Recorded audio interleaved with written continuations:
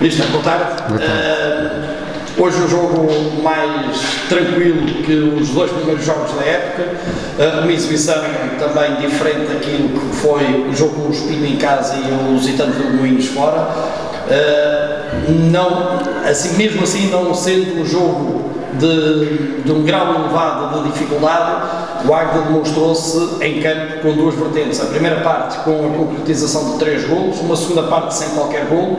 De qualquer das formas, a exibição não agradou.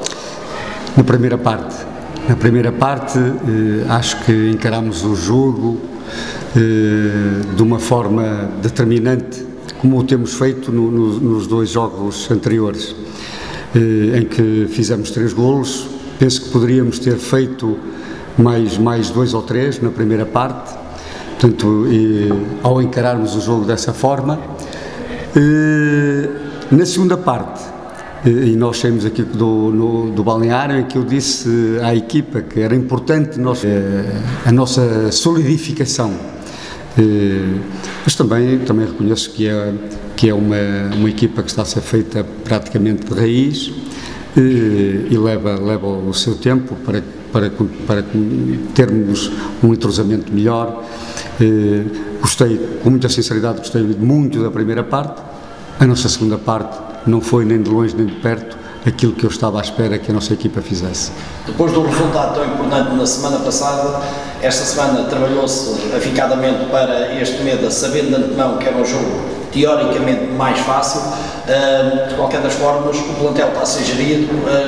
tem tido alguma dificuldade em trabalhar com este plantel ou já consegue começar a criar aqui um 11 raiz?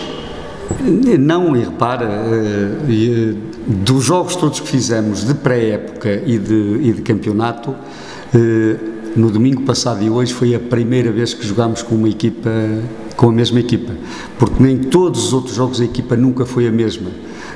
portanto, por vários motivos, portanto, alguns por lesões, outros por jogadores, portanto, que neste momento até já cá não estão, já cá não estão, portanto, e isso tem-nos dificultado, e nomeadamente, portanto, mesmo em questões de trabalho durante a semana, é rara a vez, ou será raro o dia em, em, que, aliás, eu até diria, portanto, neste mês e meio que estou cá, nós nunca tivemos o nosso plantel todo à nossa disposição para podermos trabalhar todos em, em conjunto.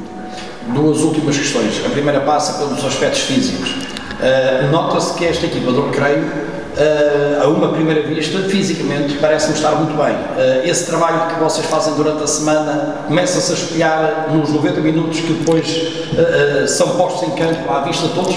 Eu, eu, eu, eu há pouco disse isso. Eu, eu, eu sei que a forma como eu quero que a equipa jogue é, é realmente muito desgastante. E daí a equipa ter, ter se apanhado com 3-0 e ter gerido um pouco o, o resultado que era coisa que eu não, que eu não, que eu não, que eu não queria que tivesse acontecido. Uh, mas não há dúvida que nós, eu, eu tenho a certeza absoluta que nós, de, de, jogo para jogo, vamos melhorar quer a nossa capacidade física, quer a nossa capacidade técnica. E nós temos, temos eu acredito com toda a sinceridade que nós faremos um 11 muito forte. A última questão da, da tarde. Uh, próximo jogo, Amarante. O Amarante perdeu hoje mas que é um jogo com certeza difícil, num campo difícil. Um, vai preparar esta equipa do Águia durante a semana com um único objetivo, a conquista dos três pontos. É, esse é sempre o nosso grande objetivo. Logicamente que vamos, também vamos procurar uh, estudar o nosso adversário, saber tudo, aquilo que pudermos, portanto, e que temos à nossa disposição sobre eles, para poder. Rodrigo, boa tarde. Uh, hoje o jogo mais fácil do que os dois primeiros do campeonato, pelo menos uh, teoricamente era um jogo mais fácil com esta equipa do Meda. Uh, quais foram, mesmo assim, quais foram as principais dificuldades que vocês encontraram, visto que numa primeira parte conseguiram marcar por três vezes e na segunda parte esperando que a equipa iria continuar com, com essa senda da, da marcação de golos, não se conseguiu qualquer golo. Houve alguma dificuldade que acabou por também possibilitar que a equipa do Águeda chegasse a mais algum gol nesta segunda parte? É sim, é sempre, é sempre complicado porque eles teoricamente era mais fácil, mas eh, não, não concordo porque é uma equipa que vinha com, com, com duas derrotas e quem passa por isso, o próximo jogo quer sempre pontuar de qualquer maneira e nós entramos para o, para o jogo para não facilitar, para carregar, fazer a qualquer momento o golo, procuramos e fizemos três golos. Depois na, na segunda parte quisemos entrar também, mas eles também têm, têm, têm bons jogadores, têm bons executantes e, e soubemos gerir o resultado. Uh, durante, durante a partida, uh, há pouco eu coloquei esta questão ao, ao professor Henrique. Um, Nota-se que esta equipa do Águeda, apesar de trabalhar semanalmente, diariamente durante a semana, uh, os aspectos físicos, não se nota uma grande quebra fisicamente nos jogadores. Esse trabalho tem sido feito, vocês sentem isso durante a partida, uh, vê-se que há muitos jogadores, uh, incluindo tu, que uh, chegam ao final do jogo quase com o mesmo ritmo de quando iniciam. Esse trabalho físico tem sido trabalhado? Sim, Sim, trabalhamos sempre bem, nos limites, que é para, para aguentar sempre os 90 minutos e cada vez vamos estar melhores. Esperavas à terceira jornada ainda não ter qualquer derrota? Esperava, jogar no Águeda é assim, é, cada jogo é para ganhar, seja em casa, seja fora, e está a correr bem e vamos continuar a trabalhar para agora ir buscar três pontos, Amarante.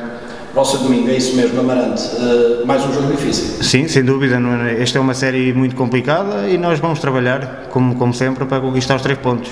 Psicologicamente a equipa está preparada? Está, está, estamos bem, estamos sem, sofremos um golo de bola parada, éramos a única equipa que tínhamos 0 golos feridos e sofremos agora um e de bola parada, continuar bem defensivamente e, e melhor ainda a atacar.